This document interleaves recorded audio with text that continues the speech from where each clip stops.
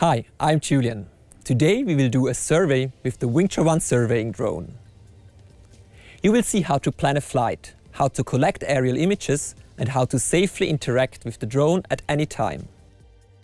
Below us along the lake there is a road. Our job is to get an accurate map of the road itself and of the mountain on top of it. With the aerial images we will produce an orthomosaic map, a point cloud and a digital elevation model of the site. This is a challenging job for three reasons. First, there is a high altitude difference of 500 meters between the highest and the lowest point in the map. Second, we want to cover 120 hectares in only one flight. And third, we have to take off on a confined space on this small road. Wingtra One is perfect for this job, as it's a fixed-wing drone offering large coverage that can still take off and land vertically. It carries a high-resolution Sony RX1 R2 camera with 42 megapixels a full-frame sensor and a low distortion lens. Then, below the top cover, you can see where the magic happens. This is a GNSS PPK module. Together with the data of a continuously operating reference station, it will geotag our images with centimeter level accuracy. To fly safely and get good images, let's check the weather conditions. Today is a good day for flying. There is no fog, no rain and no snow. In general, the best time for surveying is around midday.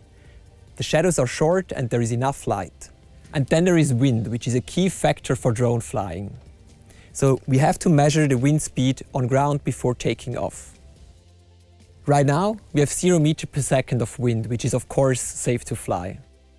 Wingtra One can handle wind speed on ground up to 8 meter per second. Let's move the drone for takeoff and look into flight planning.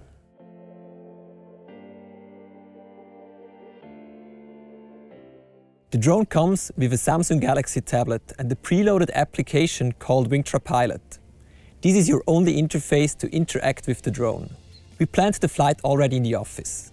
If you need to, you can also plan it in the field by drawing a shape and adjusting the corners. Here you can set the ground sampling distance. For our job, we need 4 cm per pixel. Wingtra Pilot features a terrain following option.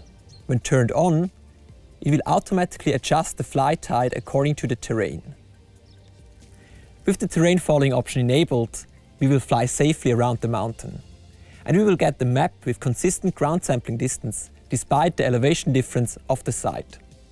Before taking off, Wingtra Pilot guides you with a pre-flight checklist to make sure that the components like GPS and sensors are ready. Once you have completed the checklist, you should make sure that the airspace is free, that nobody is close to the drone. Finally, it's time to take off. Press play and slide to confirm.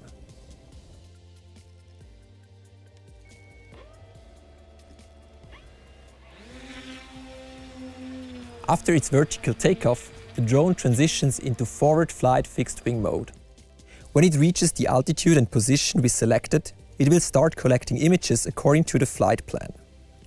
Because Wingtra One's takeoff, flight and landing are completely autonomous, you normally don't have to interact with it. Your only job during the flight is to observe the drone and make sure that nothing is in the airspace. In case you need to take manual control of the drone, you have several options. You can either press pause so that the drone will loiter in the air. Or you can press return to home, this will make the drone safely returning back to where it started. You can resume the mission at any time from both of these states using the play button.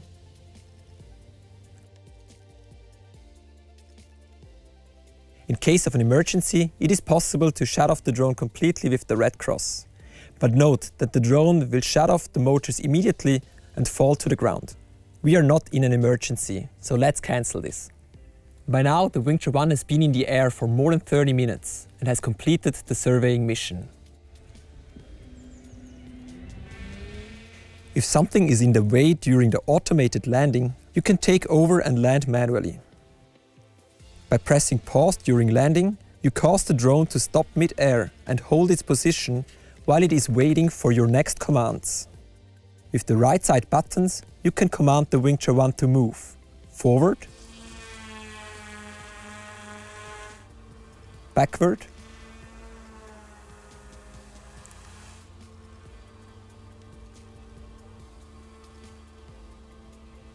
right. And left. With the left side buttons, you can command the drone to move up and down. Or to turn around its axis. To land the drone, press down with the left button. Or you can also press the land on the spot button. This will make the drone land automatically.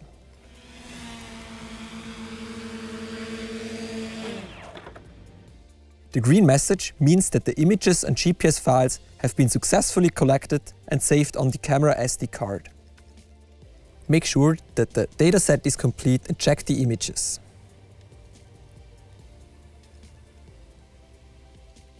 After the flight, we used the Wingtra Hub application to assign accurate geolocations to the images. For photogrammetry processing, we used Pix4D, although most major photogrammetry software are compatible with Wingtra One's images. In this image, we see that the tunnel portal and the bend of the road are particularly exposed to rockfalls and landslides. With the data from multiple flights, it will be possible to measure Earth movement over time, to predict landslides and to implement preventive measures to keep the road safe. Drone data like this can also be used for many other different applications. Export the point cloud, elevation models, and orthomosaic to your GIS or CAD applications to enrich your existing data. Thanks a lot for joining us on this survey with the Wingtra One drone. If you want to know more about the drone and its applications, please follow the links in the description. And if you have any questions, please use the comment section below.